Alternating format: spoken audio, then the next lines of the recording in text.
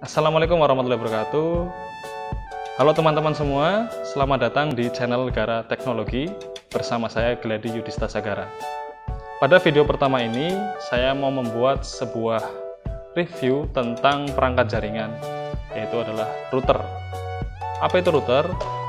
Router merupakan salah satu perangkat jaringan yang digunakan untuk menghubungkan jaringan yang berbeda.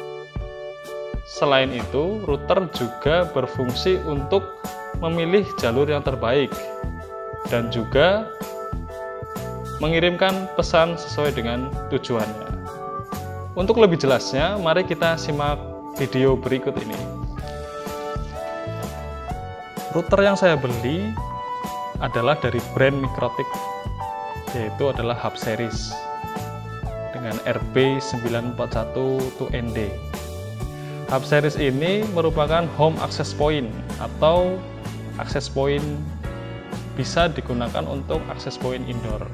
Harganya sekitar Rp300.000. Pertama dari gerdusnya kita lihat ya gerdusnya masih baru ya guys.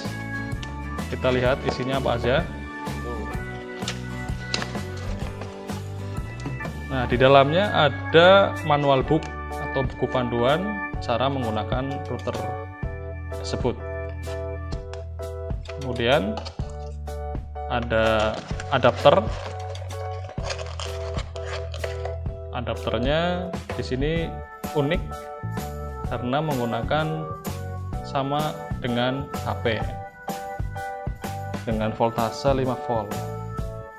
Selain itu juga kita bisa ganti menggunakan charger HP juga. Nah, ini adalah perangkat utamanya yang kita sebut dengan router hub series RB941 2ND. 941 2ND itu memiliki arti yang artinya adalah 9 adalah versi dari mikrotik tersebut. 4 merupakan port LAN. Nah, di sini ada 4 LAN, interface LAN, kemudian satu adalah merupakan interface wireless. Jadi router ini bisa digunakan untuk hotspot.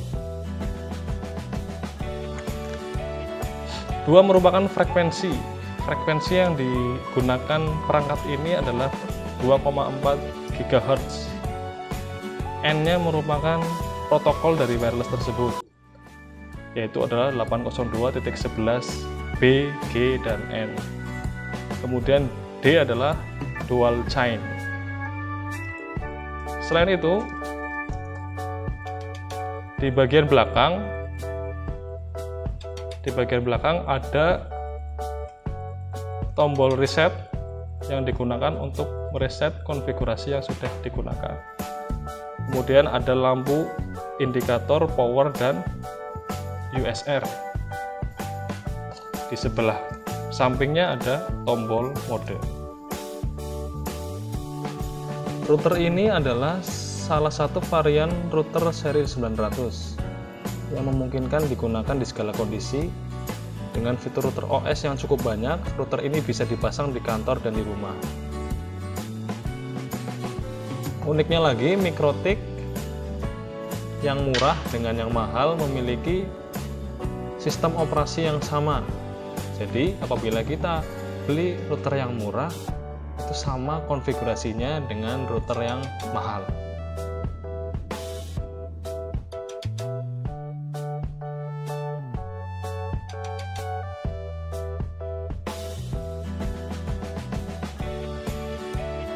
Ya, sekian tadi review singkat tentang RB941.